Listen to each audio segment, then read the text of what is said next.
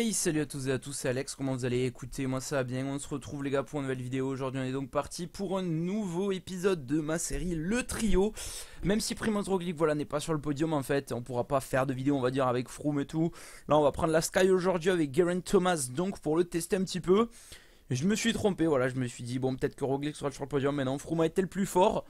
Bravo, bravo à lui voilà parce qu'il a été, euh, il a été très très costaud quand même dans ce tour euh, malgré euh, voilà il a quand même eu des défaillances et tout et il est quand même sur le podium donc euh, bravo à lui. On va donc partir pour une nouvelle partie personnalisée. J'ai un petit peu modifié quelques notes. On va partir donc en legend avec donc Geraint Thomas forcément et cette équipe Sky. Donc on va faire un parcours. On va partir directement avec l'étape de la Rosière l'étape de l'Alpe d'Huez et pour terminer, on aura le chrono d'Espelette. Voilà, voilà, voilà.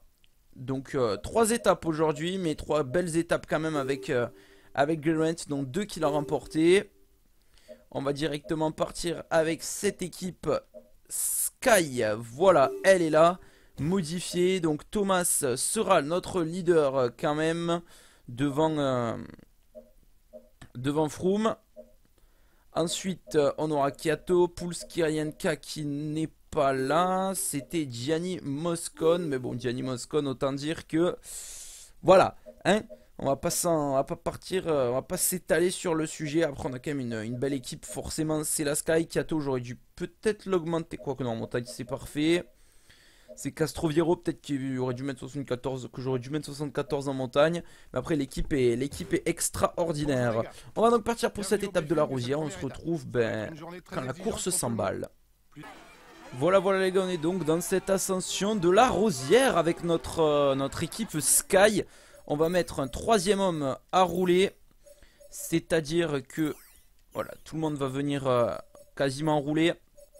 Sauf Chris Froome qui va s'occuper de protéger Geraint Thomas. Mais on a Pouls, et Bernal qui vont donc rouler dans cette étape. Étape remportée en réalité par Geraint Thomas avec ce maillot de. Avec le maillot Sky.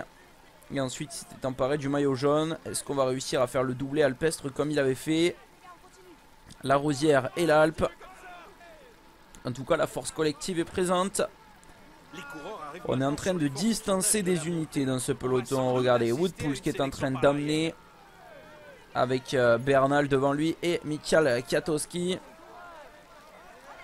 Allez. On est quand même euh, très très bien. Primoz Roglic juste à côté, là aussi. Et la force collective des Sky est en place maintenant. On attend juste que l'ami Villarmos s'écarte. Allez, Bernal et Kiato, pas encore. Ah bah si je vais donner à, à, à sans faire esprit. Je vais dire plutôt Bernal et Pulse pas maintenant mais bon c'est pas grave. Allez et on va attendre que Villarmos termine le, taf et ensuite ça sera au tour de, de Kiatowski de rouler. Même demander à 90 là hein, je pense. 9 km du sommet. Pulse qui roule. Il y a Egan Bernal juste derrière. Michel Kiatowski aussi. C'est intéressant pour le moment. 42 hommes. Excusez-moi. Là, je vois pas en tout cas euh, comment euh, un corps pourra attaquer avec ce rythme. On est en train de distancer euh, pas grand monde hein, quand même. C'est pas impressionnant, impressionnant, mais ça suffit pour limiter et empêcher les attaques. Encore faire 3 km comme ça. Même si le problème c'est qu'on n'a pas Bernal et pas euh, Kiato. Peut-être ouais, peut-être on va laisser Pouls à, à 90 pour que Bernal et Pouls voilà, remontent. Enfin Bernal et Kiato. Kiato est juste dans la roue. Allez hop 90 et Chris Froome va s'occuper de protéger Geraint Thomas. Michel Kiatowski est là. Et on commence à arriver sur ces parties euh, pas les plus les, plus simples plutôt. Même si là il y a un passage assez dur. Et ensuite euh, le final sera plus propice hein, quand même. Mais là on a la force collective des Sky qui est vraiment en place. Hop, on va accélérer maintenant avec euh, Bernal et Pulse. Et on a Chris Froome qui nous protège. Allez, on est encore là avec les Sky, mais on n'arrive pas à vraiment distancer euh, des unités. Hein, C'est dur. Dans la rosière. Et Woodpulse maintenant qui prend le relais. Avec euh, Chris Froome qui s'accroche là aussi. Maintenant, tout le monde va prendre le bleu. Et on est très très bien en tout cas. Avec Garen Thomas. On a vraiment le temps encore avant de prendre notre gel. Hein. On a le temps avant de prendre le gel. Même si j'aimerais bien une grosse accélération là dans quelques instants. Allez, ça arrive pas à distancer des coureurs encore. Hein. Regardez, Primoz Roglic est là. Dumoulin est juste derrière aussi. Chris Froome nous protège bien. Et maintenant, c'est Bernal qui vient rouler. Bernal qui vient mettre un gros rythme. Ça commence à étirer en tout cas, ça commence à étirer. Quand Chris Froome va venir aussi, ça sera intéressant dans cette ascension de la Rosière. Allez, regardez, il reste 40 hommes. 40 petits coureurs. Et là, on va demander à Bernal et, et Pulse de, de tout envoyer. Allez, maintenant, il faut envoyer du bois, les gars. Maintenant, il faut envoyer du bois. Forcément, il faut accélérer.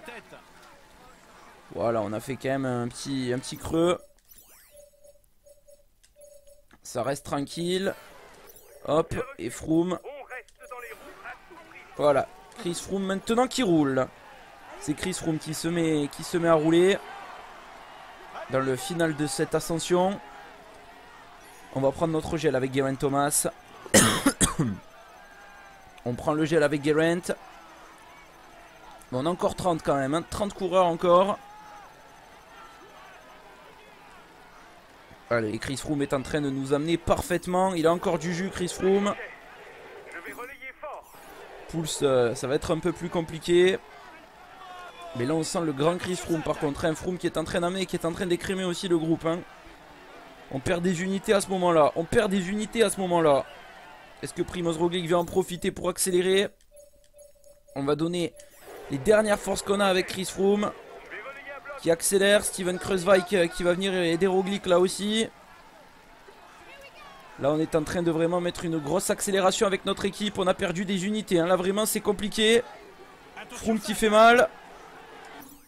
Et qui va terminer, euh, terminer fort cette étape. Allez c'est bon on va prendre la roue de, Primoz Roglic maintenant qui est aidé par Steven Kreuzweig. On n'est plus que 15. Plus que 15 dont Primoz Roglic qui est là. Primoz Roglic, on est dans sa roue au coureur slovène. Et il accélère Primoz Roglic. Roglic qui accélère. Bardet aussi est très puissant. Romain Bardet avec Tom Dumoulin juste dans la roue. Allez, un kilomètre encore, un kilomètre. Et Guérin Thomas est très bien là dans ce groupe. Avec Nibali aussi qui est encore là. Et allez, maintenant on va essayer d'y aller nous avec euh, Thomas. En costaud. On y va. Et voilà, là on est très très bien. Hop, hop, hop, hop, hop, hop, hop. J'ai... Je me suis foiré, mais ça suffit pour s'imposer. Victoire de Geraint Thomas ici, à la Rosière. Et derrière, ça arrive... Euh, ça arrive avec du retard. Chris Froome, on va lui faire terminer cette, étape avec euh, Jacob Fugelsang là. C'est qui devant là qui en termine C'est pas Tom Dumoulin qui aime qui a craqué comme ça, non? Ah mais c'est pas un Sunweb, autant pour moi c'est Dan Martin. Et Christopher Froome, 11ème de l'étape de la Rosière. Garen Thomas le plus fort aujourd'hui, hein, vraiment. Impressionnant Garen Thomas. Il était en canne le, le gallois. Il reste l'Alpe d'Huez maintenant. Ça serait bien d'aller s'imposer en jaune quand même. Hein.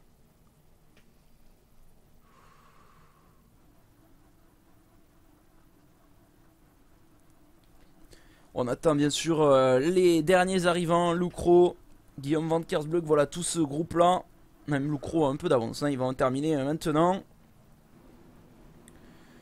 Grosse étape en tout cas. de la part de notre équipe, même si Froome est un peu loin. Il faudra remonter avec Froome au général. Hein. Il faudra remonter comme il faut. Sinon, on pourra pas. Euh, il a passé la ligne d'arrivée en tête il y a quelques minutes. Et victoire donc de Garen Thomas. est en tête du classement. Qui est en jaune pour l'équipe Sky. Maintenant, c'est l'Alpe d'Huez qui nous attend. Félicitations à vous. On met donc 15 secondes à Primoz Roglic et Tom Dumoulin, Bardet et Nibali, Landa et compagnie sont un peu plus loin. À la Philippe qui a été très costaud sur cette ascension. Sieberg, Van Kersbleu, Isabelle donc hors délai. Et au niveau du général, il y a des coureurs comme euh, bon, qui ont craqué. Quintana, voilà, après le problème c'est que ces coureurs-là en fait, les Froome, les Valverde, enfin les, les Quintana, les les Crushbike, etc., qui eux étaient dans le top 10, en fait, ils vont jouer les équipiers en fait après la mage. Bon, à moins qu'il y ait une correction, mais le problème c'est qu'ils vont pas jouer leurs cartes, ils vont jouer les équipiers, c'est ça qui va être un peu dommage. En tout cas, on a déjà fait de gros écarts sur cette euh, première étape avec euh, Garen Thomas. Donc, euh, ce qu'on va faire, c'est qu'on va tout simplement se retrouver ben, tout de suite au pied de l'Alpe d'Huez. Et l'Alpe d'Huez, c'est parti donc. Garen Thomas, le maillot jaune et l'équipe Sky se lance donc à l'assaut de ce, de ce géant, de ce mythe. L'équipe Sky qui n'a jamais gagné au sommet de l'Alpe d'Huez en euh, trois passages, en deux passages plutôt. En 2011, il n'y avait pas la Sky, mais enfin sur le Tour de France bien sûr, euh, ils n'ont jamais gagné. Il semble que l'année dernière, ils avaient gagné euh, sur le Dauphiné, même si on n'empruntait pas ce côté-là. Allez, Christopher Froome va nous protéger Garen Thomas comme hier. Enfin, comme sur l'étape précédente plutôt. Mais là, regarde, on a déjà Wood, Sagan Bernal et Michael Kiatowski. La force collective est une fois de plus présente. Euh, Tom Dumoulin est là. On doit apercevoir euh, Primoz Roglic derrière le Slovène. Mais on est déjà plus que 29. Ce qui n'était pas le cas dans l'étape de la Rosière où il y avait beaucoup plus de coureurs que c'est pas Marc Solaire qui est déjà placé ici Le, maillot blanc, j'ai l'impression que c'est lui. Hein. C'est Marc Solaire, effectivement, le 20ème du général. Egan Bernal qui va se battre avec lui. Il est deuxième peut-être du classement euh, numéro blanc. Non, il est quatrième à 32 petites secondes. Hein, donc euh, c'est pas énorme. Warren Barguil, Rafal Maïka à l'avant, David Godu derrière, TJ Van Garderen, Serge Powell, Tige Benoît. Allez, on va même les mettre à 80 nos coureurs là parce que ça va pas là. Allez, là ça va accélérer un petit peu plus. Ça va accélérer un peu plus. Alors que c'est Gezink qui roule en tête de peloton. Effectivement, Robert Gezink, le leader du classement de la montagne. Il me semblait que c'était Primoz Roglic hein, avec le classement de la montagne. Autant pour moi. En tout cas, on se lance euh, à l'assaut total hein, de cette Alpe d'Huez avec les Sky qui essayent de contrôler. On a perdu Egan Bernal. Je sais pas où il est, Egan Bernal. Il est juste derrière nous, Egan Bernal. Et l'écart qui diminue hein, pour, euh, pour l'échapper. Est-ce que ça va aller au bout Est-ce que ça ne va pas aller au bout? C'est la question qui, qui se pose. En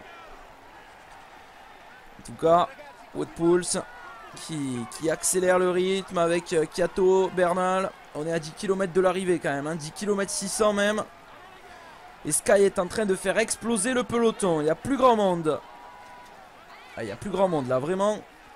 Il y a Nibali qui a un coéquipier. Il y a encore 3-4 euh, Movistar avec... Euh, et peut-être même pas, non, il a explosé a priori euh, le maillot blanc. Et ouais, il a explosé Marc Solaire. Il reste qui? Il reste peut-être Krushvike, Roglic, Valverde, Quintana, Landa. Voilà, c'est ça qui doit rester.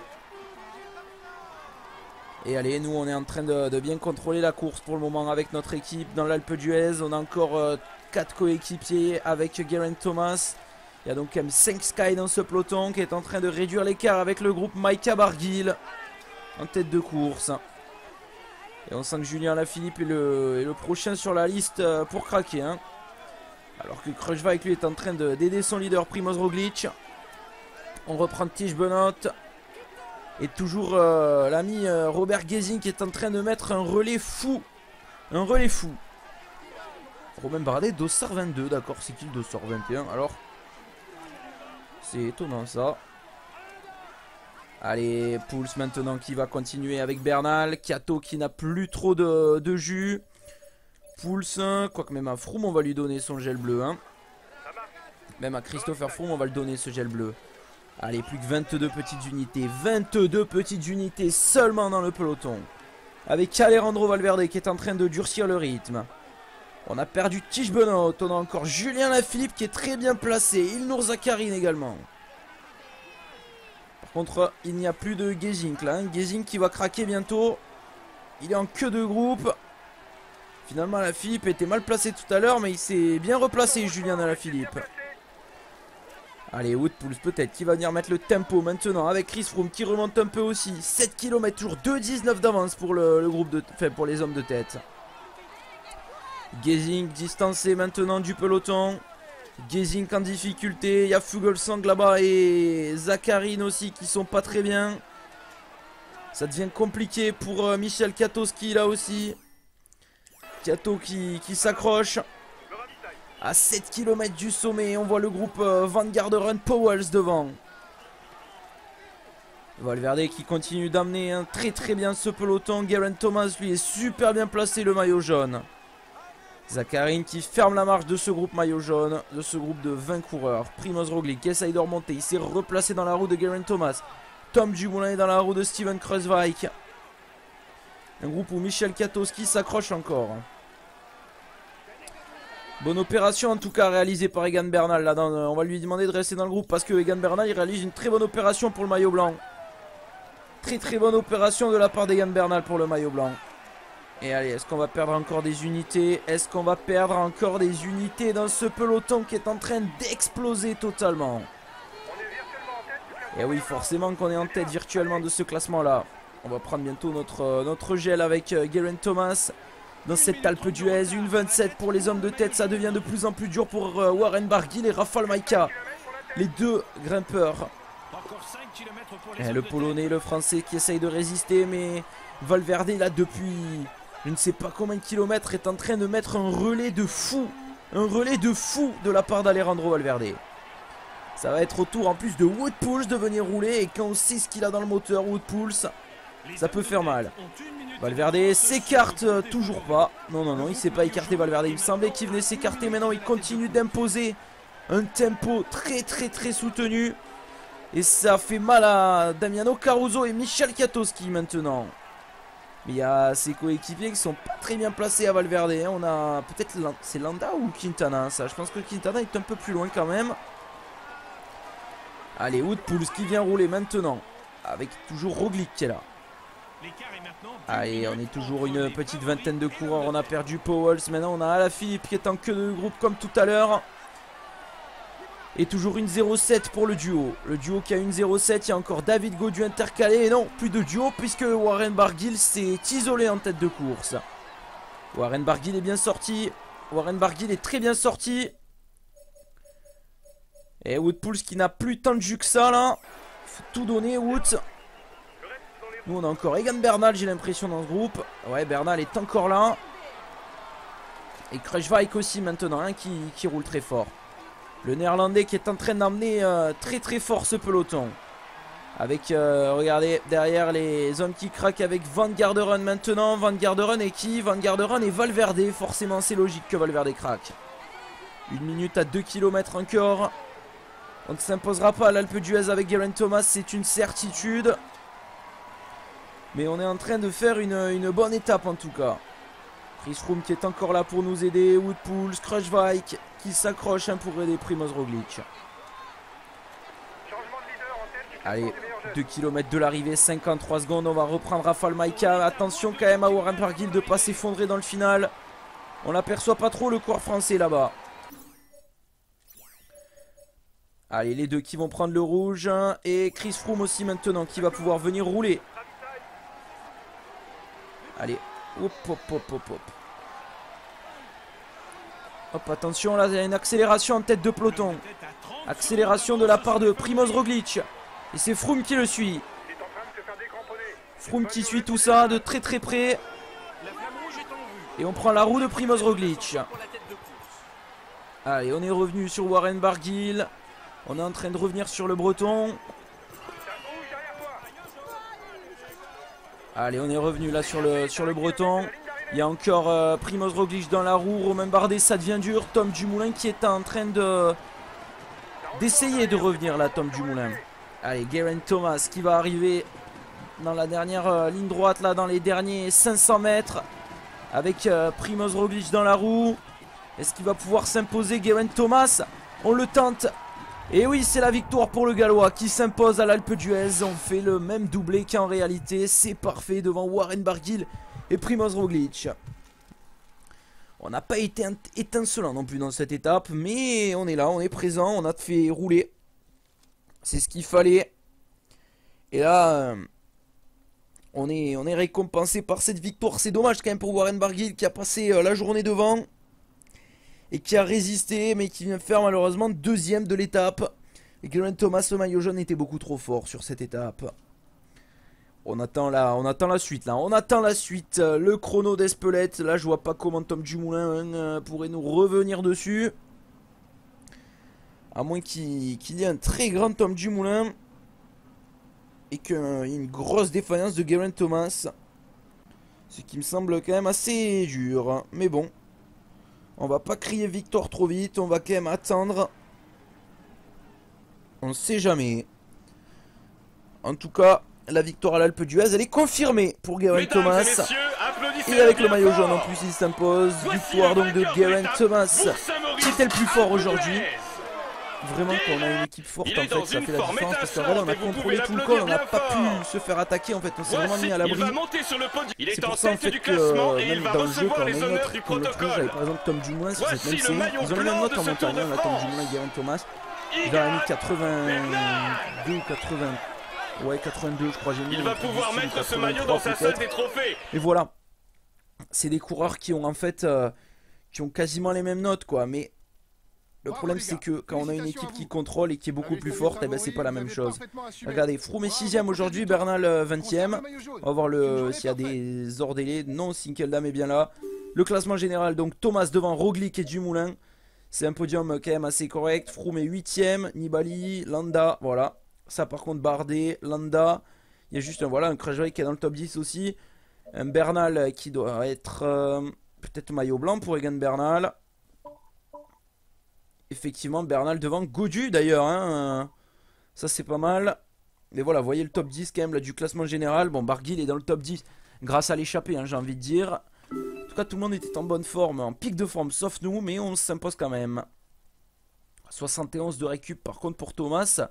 C'est celui qui a quasiment la même bonne récup de l'équipe Sky. C'est étonnant quand même. Ça, je l'ai pas modifié. Allez, on va partir pour le chrono d'Espelette donc. Espérons euh, réaliser euh, un bon tas. Ça serait bien de faire euh, le triplé, de remporter les trois petites étapes avec euh, Geraint Thomas. Ça ferait du bien. Mais bon, comme je vous l'ai dit, on a déjà deux victoires. On a le général pour le moment qui semble acquis. Hein. Je vois pas comment on pourrait craquer, même si on ne sait jamais. On va quand même attendre, euh, on va quand même attendre la fin. Allez, c'est parti, on prend Geraint. lancé pour ce contre-la-montre individuel le, et présent sur la rampe de lancement. Encore quelques secondes avant son départ. Allez, on l'applaudit bien fort. Hein, devant Primoz Roglic en 38-29. Allez, c'est parti, on va faire un petit 16-02 donc euh, ça nous placerait dans les temps de Primoz Roglic. Dumoulin lui qui a fait euh, qui a été premier partout. Roglic est parti prudemment et petit à petit voilà il est revenu sur Tom Dumoulin. Il y a le quatrième pointage, un quatrième point, et eh ben, je pense qu'il s'imposait Primoz Roglic.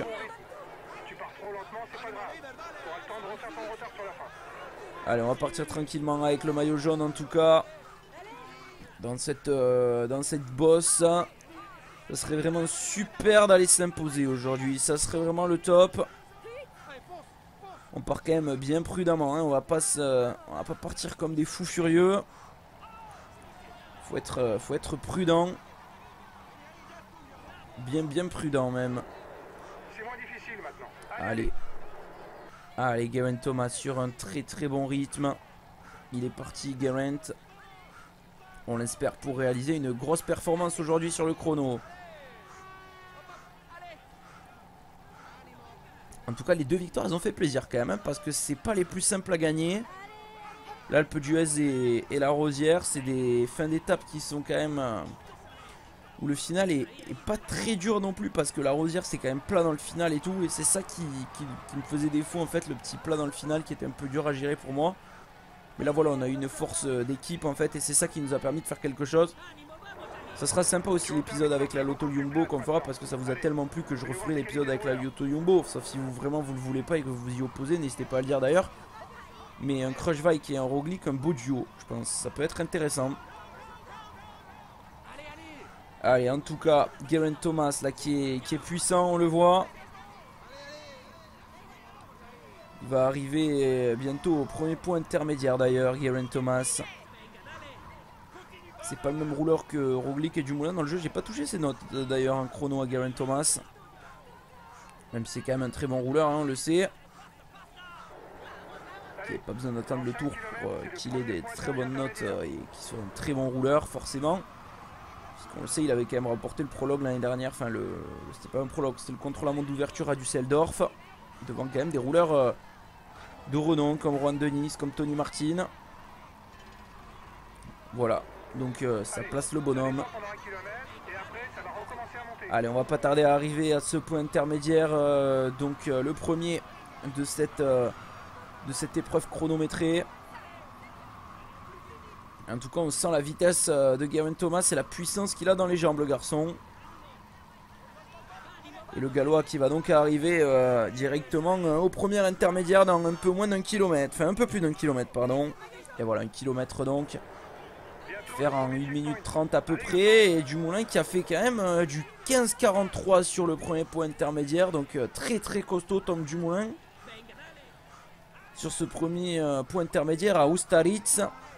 Je pense qu'on va être au-delà même du temps euh, demandé. Hein. Oui, on sera bien au-delà du temps demandé. On est parti... Euh, on est très mal parti avec Garen Thomas. Contre-performance, c'est rare d'ailleurs que j'en fasse sur ce chrono.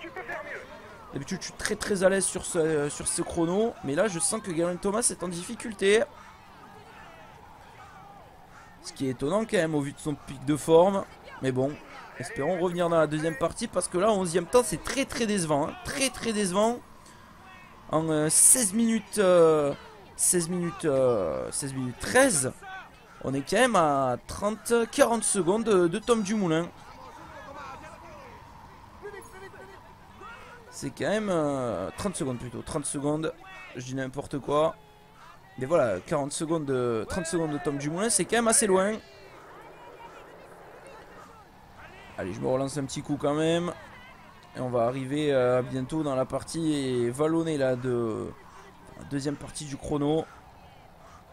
Qui n'est pas la plus la plus dure, hein, voilà. C'est vraiment la première partie qui est très très dure. Enfin, à mon goût. Allez, Garen Thomas qui va retrouver de la, vitesse et un peu de, de puissance peut-être dans cette partie. Qui négocie parfaitement. Allez, on arrive à 5 km déjà du deuxième point euh, intermédiaire.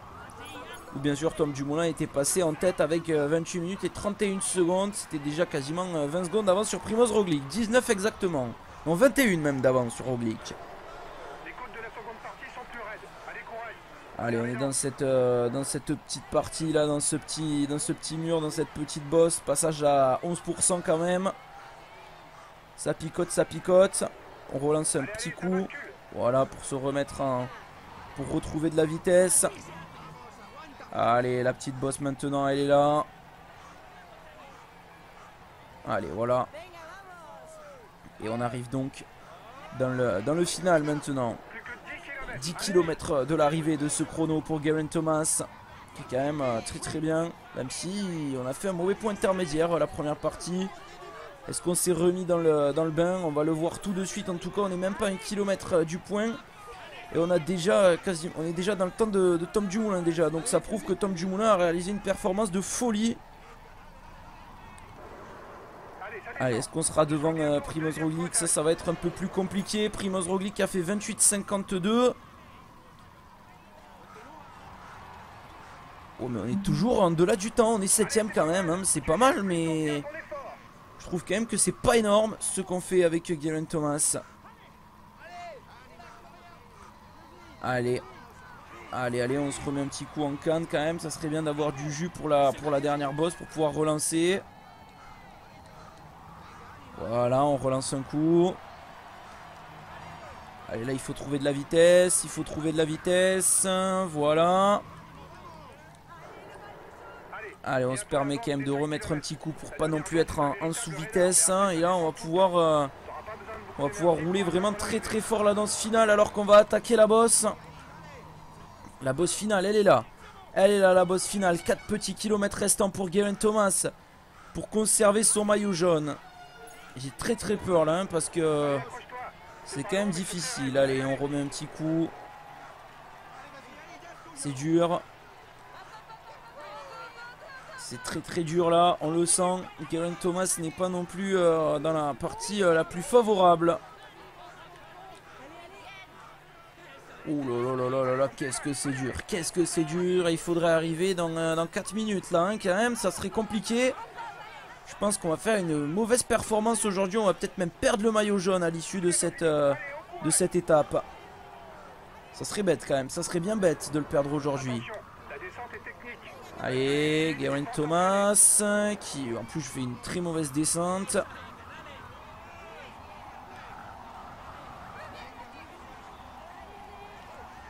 Allez, on en termine maintenant avec Geraint Thomas dans le dernier kilomètre. Regardez, on est déjà quasiment dans le temps de Tom Dumoulin. Ça prouve que Tom Dumoulin a été extraordinaire aujourd'hui.